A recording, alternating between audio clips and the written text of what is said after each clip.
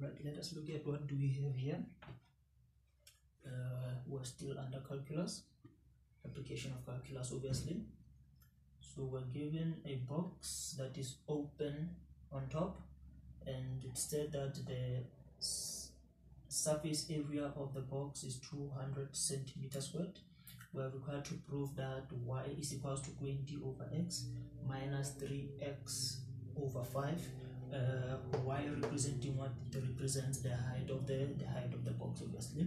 Now let us take a look at the formula for calculating the surface area of the box. Surface area is equals to 2 length multiplied by what? Multiplied by breadth plus 2 length multiplied by height plus 2 uh, breadth multiplied by height breath multiplied by height but now let us take a look at the information that is given to us again. It is said that the box is open on top which will be length multiplied by what? Length multiplied by breadth remember we have two sides of what of length times breadth we have two sides of uh, length times height. We also have two sides of uh, breadth multiplied by height. So it is said that the box is open on top. So that simply means we only have length multiplied by breadth only one side of length multiplied by breadth which will be the base of the box because on top the box is is open. So i'm going to remove this two here. Uh, it is given to us that the surface area is 200 centimeters squared surface area is 200 centimeters squared uh, what is the length of the box? It is 3x multiplied by what? By the breadth of the box which is what? Which is 2x plus 2 into what? The length of the box again which will be 3x multiplied by by height. What is our height is y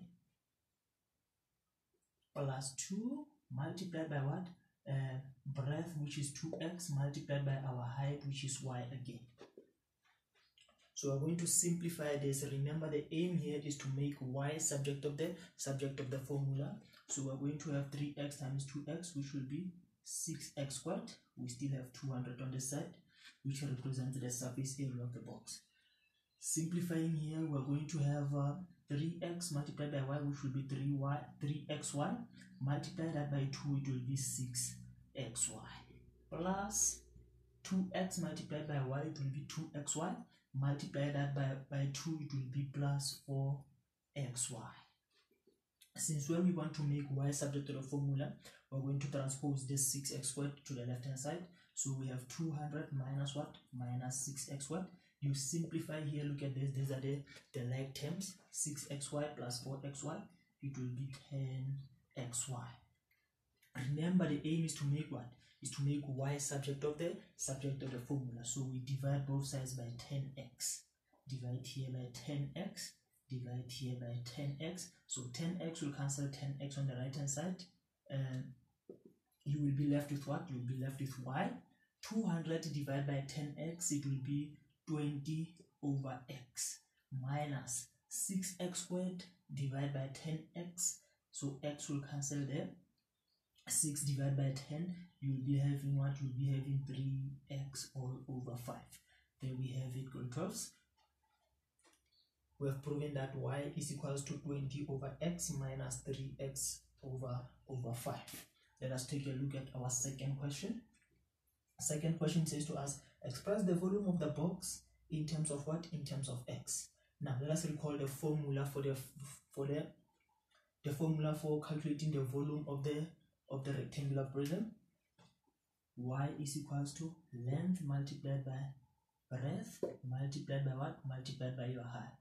So the length in this case we have what? Length we have 3x times the breadth of the box which is 2x times the height of the box it is y but we have found out that y is what? y is 20 over x minus 3x all over all over 5 so this will be our height.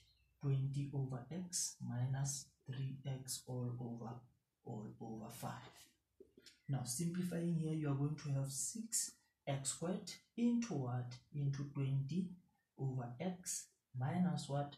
Minus 3x all over 5 so you distribute 6x squared inside this bracket it will be 6 multiplied by 20 which will give us uh, a 120 x squared all over x minus 6x squared multiplied by 3x which will give us 18x what x cubed all over all over 5 and then you simplify here this will cancel that. So you have 120 x minus what? Minus 18 x cubed all over all over 5 so this is the volume of the box in terms of what? In terms of of x